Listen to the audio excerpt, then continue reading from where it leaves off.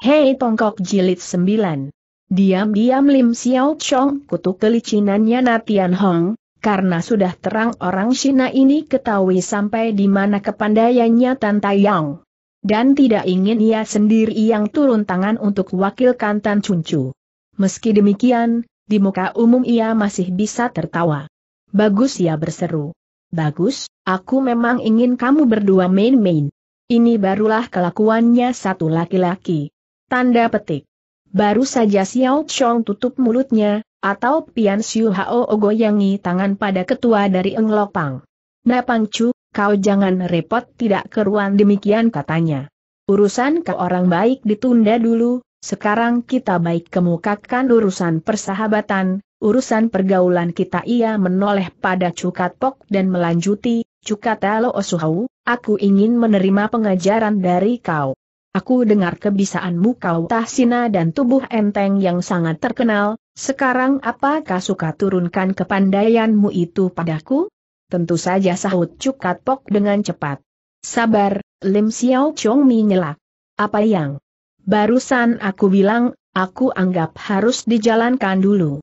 Tai Yong, apa kau belum juga perintahkan mundur semua perahu di mulut muara, supaya ngelopang merdeka untuk berlayar masuk?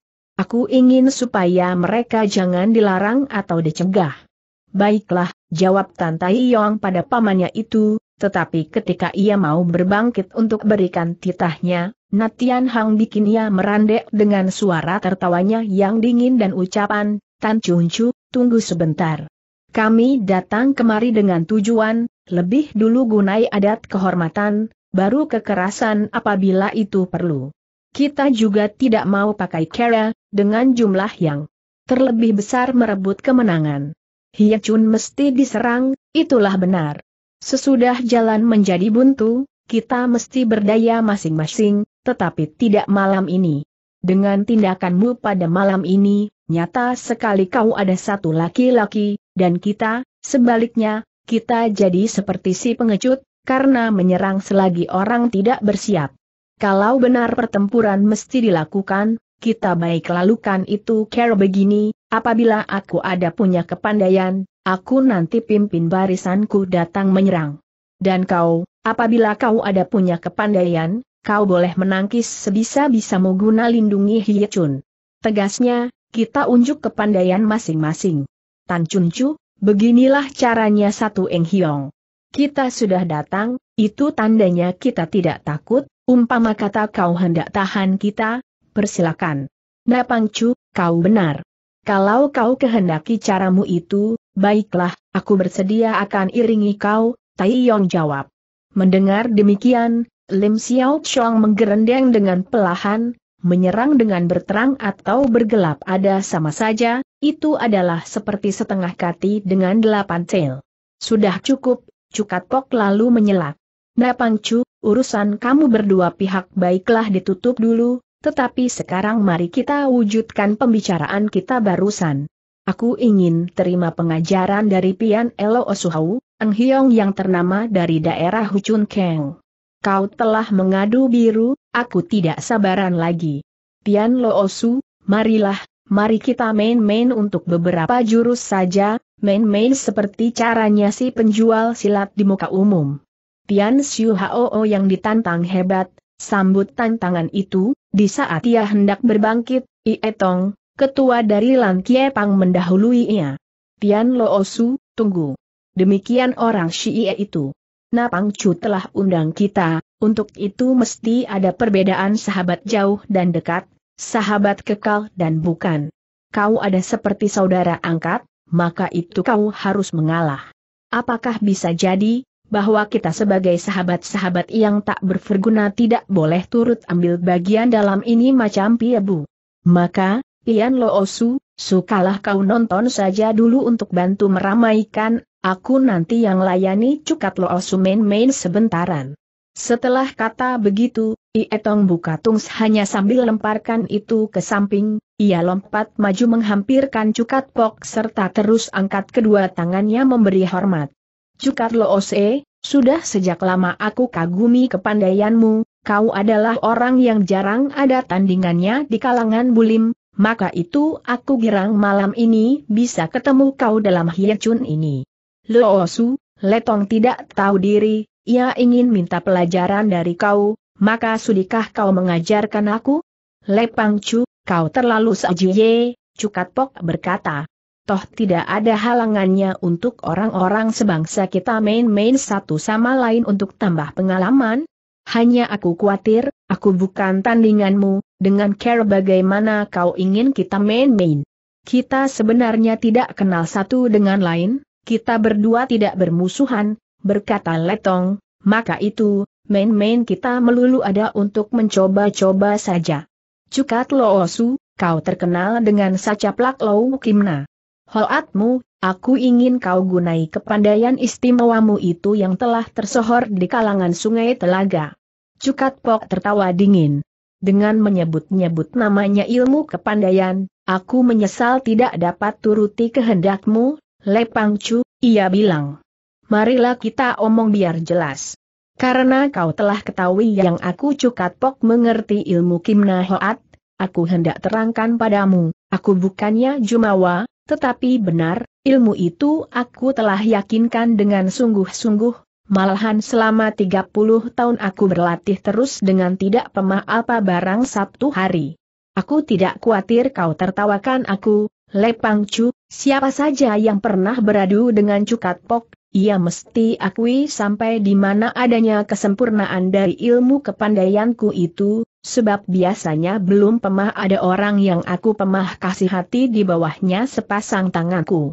Tapi kau, Lepang Chu, kau berani tantang aku, kau pasti ada mempunyai kepandaian untuk lawan atau kalahkan kepandaianku itu, maka aku harus ambil satu sikap. Untuk pertahankan nama baikku, tidak bisa tidak, aku harus gunai kepandaianku itu. Oleh karena ini, aku tahu, di antara kita, mesti ada salah satu yang bakal mendapat malu. Maka, Lepang Chu, selagi di antara kita tidak ada permusuhan, apa kau tidak bisa pilih lain cara? Aku anggap baiklah ditukar suatu cara lain. Letong tidak senang mendengar ucapan orang itu, karena ia merasa bahwa dirinya sedang dipermainkan dan diancam secara samar-samar, maka ia keluarkan suara dari hidung. Cukat Loosu, kau kelihatannya anggap urusan secara sungguh-sungguh sekali, ia berkata. Main-main di kalangan kita, kalangan bulim, ada hal umum, maka menang dan kalah juga ada umum, hingga itu sama sekali tidak merupakan halangan suatu apa. Bukankah kita tidak bermusuhan? Maka sudah seharusnya, di antara kita tidak ada dikandung maksud jahat, hingga siapa menang dan siapa kalah, ia tidak harus buat pikiran. Cukat Loosu, silakan kau keluarkan kepandaian istimewamu itu, umpama kata aku roboh di bawah tanganmu, satu ahli silat ternama, aku tidak akan jatuh merek. Bukankah begitu, Lo Osu? Ie Pangcu, kau ternyata ada seorang yang berpemandangan luas, kau benar ada satu Eng Hiong, Cukat Pok berkata. Bukannya aku Cukat Pok berpemandangan cupet, aku sengaja omong lebih dahulu, supaya segala apa di antara kita jadi jelas, agar di waktu turun tangan, apabila ada terjadi kesalahan, tidak nanti ada orang yang katakan aku tidak memandang sahabat. Di muka medan pertandingan, satu kali orang gerakan tangan, tangannya tidak mengenal kasihan lagi. Kau baik hati, Lepang Chu, sekarang persilakan kau bergerak terlebih dulu. Setelah kata begitu, Sowiposu lantas mundur, segera buka pakaiannya yang gerombongan, Apabila Tungsha itu dipegang lehernya dan dibalingkan sambil memutar, sekejap saja, dari satu baju panjang telah menjadi tergulung bulat dan panjang, merupakan seperti sebatang toya. Tan Tai Yong mengerti maksud orang, ia lompat menghampirkan tamunya itu, serta ulur kedua tangannya akan sambut baju panjang itu. I Etong bisa lihat gerakan orang, yang membuat ia terperanjat. Ia tahu, lawanan itu sengaja pertontonkan kepandaiannya. Tapi ia tidak takut. Ia ketahui, Cukat Pok ada ahli dari sacaplak Lau Kimna, ilmu menangkap menyekal yang terdiri dari 36 jalan. Dengan ilmu itu, gerakan kaki tangannya ada gesit, pandai menangkap tangan dan senjata musuh, melulu dengan tangan kosong. Tapi ia sendiri mengerti pekuan Ciang, ilmu telapakannya monyet putih, yang punya perubahan dari 36 sampai 72 rupa, maka ia percaya, dengan ilmu ini ia akan sanggup tandingi musuh. Demikian, keduanya sudah lantas berhadapan, akan segera bergerak memutari lapangan. Biasanya, dengan punya ilmu sacaplak lau kimna, yang ringkasnya dipanggil kimna hoat, orang mesti berani merangsek, tetapi tidak demikian dengan cukat pok. Dari itu, Letong heran lihat musuh tidak segera merangsek padanya, hingga terpaksa ia mesti mendekati terlebih dulu. Cukat Loosu sambutlah berseru ketualan Kiepang ketika ia lompat maju serta tangannya menyambar muka orang. Dengan tangan kanan ia hanya mengancam, adalah setelah itu, tangan kirinya, dengan nyap teeto witoh atau di bawah daun mencuri buah toh, ia menotok tenggorokan orang. Cukat Pok bisa menduga gerakan musuh, ia tidak mundur hanya angkat kedua tangannya ke depan dada, selagi tangan kiri musuh mendekati, tangan kanannya melonjor di bawah tangan musuh itu, dengan sedikit gerakan saja, ia sudah kasih bekerja ilmu Kim Sie Chan Wan atau benang sutera melibat lengan. Tapi Ie Tong juga bisa melihat gelagat, gerakannya pun gesit. Untuk tolong dirinya, ia bikin dua gerakan dengan berbareng, yaitu tangan kiri ia tarik pulang, tangan kanan yang tadi dipakai mengancam, menotok pada lengan kanan lawannya di betulan urat yang berbahaya. Lekas sekali Sowi Posu mendek, supaya totokan musuh tidak mengenai sasarannya, berbareng menggerakkan kaki, ia bikin tubuhnya berada di samping kanan musuh, adalah dari sini, selagi tubuhnya bangun, tangan kanannya bergerak terlebih jauh, akan hajar pundak orang yang sedikit turun karena gerakan totokannya barusan. Oleh karena maksudnya tidak kesampaian dan berbareng dirinya terancam bahaya, terpaksa letong enjot tubuhnya untuk lompat mundur sampai jauhnya satu tombak lebih, dengan renggangkan diri, ia hendak mengambil sikap lain. Tetapi Cukat Pok tidak mau pisahkan diri dari musuh, sebaliknya, ia mau rapatkan terus, maka itu di waktu lihat musuh menyingkir, ia barengi merangsek dengan satu lompatan, hingga ketika keduanya injak tanah, mereka tetap berada berdekatan. Cukat Pok berada di sebelah belakang musuh, tidak tempo lagi sebelah tangannya bergerak ke arah batok kepala musuh akan hajar batok kepala itu. Letong telah menduga pada gerakan lawannya, apapula ia pun telah merasai sambarannya angin, maka begitu lekas menginjak tanah, tubuhnya ia cenderungkan ke depan. Kaki kirinya melonjor ke depan. Sambil berbuat demikian, tangannya digeraki dari bawah ke atas, akan terjang lengan kanannya cukat pok pada bagian sikut. Itu adalah tipu silat Hian Intok atau Mega menampak rembulan. Posu batalkan serangannya apabila ia dapat kenyataan musuh telah siap akan celakai sikutnya berbareng dengan itu, ia majukan kaki kanannya hingga tubuhnya jadi berdiri berendeng dengan musuh itu. Melainkan tubuh mereka tidak nempel satu dengan lain. Adalah setelah itu ia totok iga kanan orang. Dengan gerak kaki kirinya ke depan, Letong singkirkan tubuhnya dari totokanlah juga mau balas menyerang, maka tangan kanannya dari atas turun ke bawah, akan hajar pundak kanan lawan. Gerakan yang sebat ini dibarengi dengan putaran tubuh yang gesit.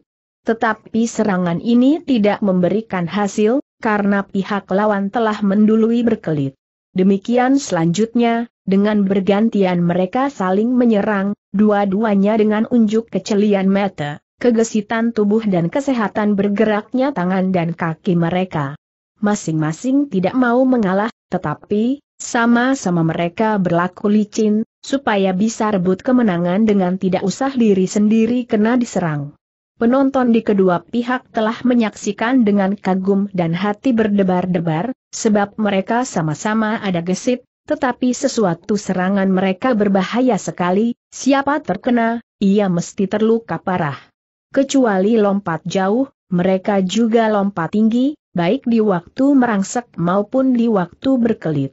Untuk 20 tahun Letong dari Lan Kiepang telah melatih diri dengan Pekuan Ciang, ia ternyata telah dapatkan kesempurnaannya ilmu silat tangan kosong itu. Dan sekali ini ia telah mesti gunakan puluhan macam dari perubahan gerakan tangannya, akan layani ahli dari Kimna Hoat. Tan Tai Yong berdiri bengong, dalam hatinya ia merasa malu sendiri. Ia, yang namakan dirinya ketua atau cuncu, yang berani kepalai suatu rombongan besar, ternyata tidak punya kepandaian yang berarti apabila ia mesti dipadu dengan dua orang yang sedang adu kepandaian itu. Dengan kepandaian yang rendah, care bagaimana ia bisa pertahankan diri dan melindungi Giok Liong Giam Hie Chun dari serangannya Lok Pang? Musuh ada berkawan banyak dan ini satu saja sudah bukan main lihainya. Syukur Siok Sulim Xiao Chong datang dengan kawan-kawannya. Demikian ia hiburkan diri. Pertempuran sudah berjalan 20 jurus lebih, keduanya kelihatan sama tangguhnya. I Etong telah saksikan kepandaian lawan, ia lalu ambil putusan, di satu pihak ia mau jaga diri, di lain pihak ia mencari lowongan untuk berikan pukulan yang memutuskan guna merebut kemenangan. Demikian pun pikirannya Cukat Pok, yang telah merasai ketangguhannya musuh, hingga So Wiposo tidak berani alpa. Segera juga datang saatnya kedua tangan dari So Wiposo bergerak berbareng laksana gunting, mengarah kedua pundak orang, apabila serangan ini mengenai dengan jitu, dua-dua tangan musuh akan menjadi gepeng. Serangan ini hanya dapat dikelit, tapi Ietong tidak berbuat demikian, kendati ia ketahui ancaman lawan. Dengan luar biasa sehatnya ia angkat kedua tangannya ke depan dadanya untuk dari situ dengan cepat menyerang jurusan dada So Waposu. Sekarang dua-dua sedang menyerang, dua-dua serangan ada berbahaya sekali. Cukat Pok lihat gerakan orang, yang bikin ia kaget berbareng kagum. Ia tahu, andai kata ia berhasil, musuh juga akan berhasil seperti ia. Ia mau singkirkan ini, tapi ia tidak mau batalkan serangannya itu, maka ia mengulur tangannya, dengan kedua kaki tidak bergerak, ia bikin tubuhnya mundur dengan tangan menyerang terus. Ini ada gerakan yang dinamai Shoksin Giat Kuthut atau ringkaskan tubuh dan ciutkan tulang. I Etong tidak sangka musuh akan bersikap demikian, karena kedua tangannya telah terlepas, ia lantas merasai kedua pundaknya terbentur tangan musuh seperti yang tergosok, karena tenaga musuh tidak lagi penuh seperti gerakannya yang pertama, tetapi tidak urung ia segera merasai kedua pundaknya kesemutan. Terpaksa ia pindahkan kaki kirinya ke kiri dan kaki kanannya terangkat, bukan untuk menyingkir lebih jauh, hanya untuk gedor kuda-kudanya lawan. Dengan jalan ini ia ingin melakukan pembalasan. Dalam keadaan yang berbahaya itu, Cukat Pok dapat melihat gerakannya kaki musuh, ia lekas mundur dengan sebelah tangan menyabet ke bawah, akan sabet kaki musuh itu, apa mau, gerakannya letong cepat istimewa, kendati tangannya bergerak, kaki musuh telah mendului mengenai pahanya, meski serangan itu tidak berbahaya lagi. Cukat Pok dapat perbaiki diri terlebih dulu, merangkap kedua tangannya pada lawan itu, ia segera berkata, Lepang Chu, sungguh Pak Wanci yang ada lihai sekali, aku takluk. Letong lekas-lekas membalas hormat. Cukat Loosu, malam ini barulah aku betul-betul takluk padamu, berkata baru sekarang aku dapatkan bahwa namamu tersohor tidak kecewa. Setelah berkata begitu, Letong lantas undurkan diri. Cukat Pok juga hendak mundur ketika seseorang lain dari pihak Englok Pang maju menghampirkan ia serta terus berkata, kau tidak ketahui, Lepang Chu, kecuali Kim Na Hoat yang sangat tersohor di Kang Lem dan Kang Pak, Cukat Loosu juga mempunyai lain kepandaian istimewa ialah ilmu tombak So Cucio, yang ia tidak mau sembarangan pertontonkan di muka umum. Aku dengar, pada sepuluh tahun yang lalu, dengan ilmu tombaknya ia telah bikin tergetar tujuh provinsi di selatan.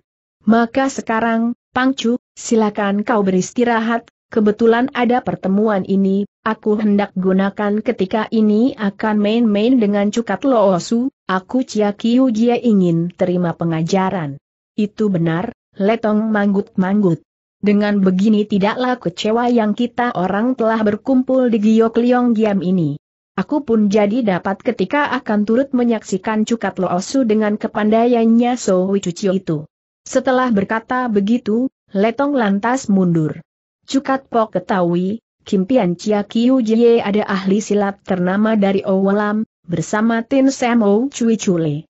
Adalah guru silat dari tingkatan tua, Elo Chiam Poe, dari Owalam, Kepandaiannya di air dan di darat ada terkenal, sedang gegamannya cambuk Kim Xie Xiao Kau Pian, ringkasnya Kim Pian. Di Owilam belum pernah ada tandingannya. Ia pun ketahui, Chia Kiu Jie ada ternama baik, hanya bersama Cui Cule, ia ada beradat sedikit tinggi dan keras, maka mereka berdua, saudara angkat, tidak suka bergaul dengan sembarang orang. Maka adalah aneh yang sekarang mereka berdua dapat diundang oleh kawanan Co Ampang itu. Cialo Osu, janganlah kau angkat-angkat aku, kata Cukat Pok sambil tertawa. Namaku ada nama kosong, dan kepandaianku barusan telah dipertunjukkan, maka aku minta janganlah kau suruh aku pertunjukkan lagi keburukanku. Kita orang pun tiebu untuk persahabatan, andai kata urusan kedua pihak tidak dapat diselesaikan, kita sendiri tidak seharusnya membawa sikap saling bermusuh. Dengan gunai senjata, itulah berbahaya, aku khawatir salah satu nanti terluka, kejadian itu bisa merugikan persahabatan kita, maka aku pikir, baik kita main-main dengan tangan kosong saja. Dengan jalan ini kita juga bisa menyingkir dari tertawaannya orang banyak.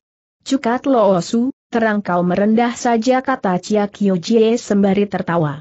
Kami bukannya jumawa atau mengandeli ilmu silat, tetapi apa sih artinya ilmu silat? Apa namanya kepandaian jikalau kita tidak mampu kendalikan gerakannya kaki dan terutama tangan kita di waktu maju dan mundur? So Cucio sudah berada beberapa puluh tahun di tanganmu, aku tidak percaya kau bisa melukai atau membahayakan jiwa orang kecuali kau inginkan itu. Kalau dibilang gerakan senjata di tangan sukar dikendalikan, itu hanya ada ucapan untuk justakan orang.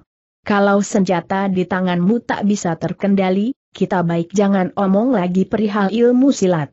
Cukat Loosu, aku telah omong dari hal yang benar, harap kau tidak tertawakan aku. Cia Loosu, oleh karena kau kata begitu, aku tidak bisa bantah pula padamu, Cukat Pok mengalah. Hanya perlu aku terangkan, memang ada satu waktu, satu kali senjata telah digerakkan, bisa kejadian bahwa orang tidak berkuasa lagi. Dengan ucapanmu, Cialo Osu, terang kau hendak menyukarkan satu sahabat, kau agaknya tidak sudi memberi ketika. Aku datang ke Giok Liong Giam ini selaku sahabat, tujuanku adalah mendamaikan kedua belah pihak, maka kalau karena aku, urusan jadi tambah genting, terang kita bukannya sahabat dari kedua pihak itu. Kalau begitu, Cukat Loosu, baiklah, aku nanti kasih keterangan dulu pada semua orang, berkata Chia Jie. Cukat Pok manggut, dalam hatinya ia kata, aku tidak boleh tidak pandang mata pada orang Shicia ini, ia ada satu orang gagah yang jujur dan terhormat. Chia Jie, sudah lantas hadapi orang banyak serta angkat kedua tangannya.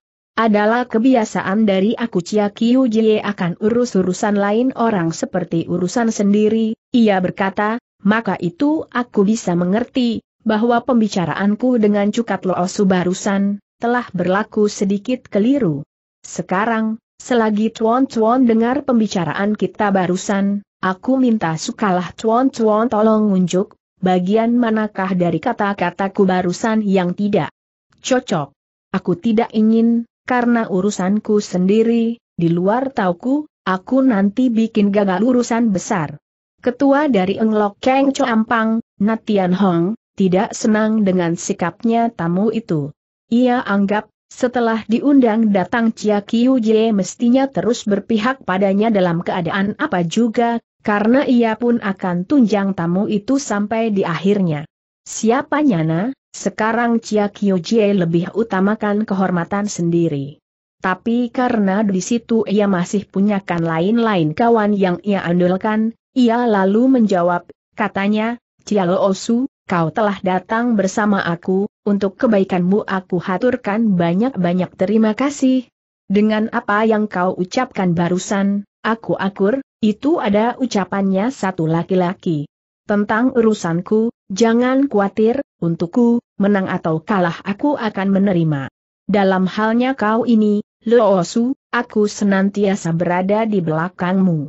Mengenai urusan di antara Ngelokeng dan Giok Liong Giam, putusanku sudah tetap, aku akan bergulat sampai di akhirnya, kesudahannya akan terserah nanti pada kekuatannya kedua pihak masing-masing. Cia Loosu, persilakan, kau ada merdeka. Mendengar itu, Kyo Jie pun tidak puas. Jelaslah bahwa Natian Hang tidak inginkan perdamaian dan mengandung maksud jelek. Tapi, karena sudah terlanjur, ia juga tidak bisa mundur. Ia lalu ambil putusan. Napangcu, terima kasih untuk kebaikanmu, ia berkata, lah menoleh pada Cukat Pok akan berkata pula, Cukat Loosu, kau telah dengar kata-katanya Napangcu barusan. Nyata ia telah berikan kehormatan padaku. Aku percaya, malam ini juga, hal urusan kedua pihak akan ada putusannya. Sekarang, Cukat Loosu, silakan kau. Berikan pengajaran kepadaku, agar aku dapat pelajaran dari kau. Setelah berkata begitu, Cia Jie lompat mundur, sembari lompat, tangannya meraba ke pinggangnya, dari mana ia tarik keluar cambuk Kim Xie Xiao Kau Pian yang lemas, yang dapat dipakai melibat pinggang.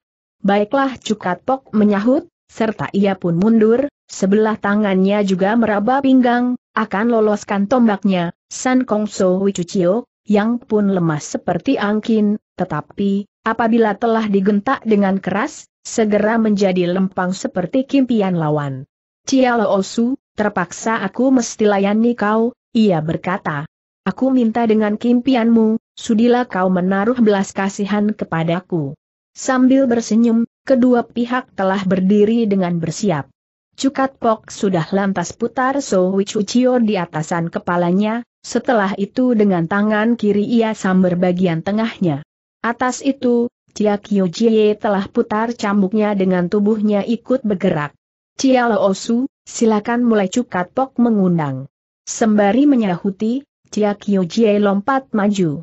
Cambuknya bergerak menyambar kepala lawan dengan tipu silat Hui Hong Lok Te atau biang lala merah turun ke tanah.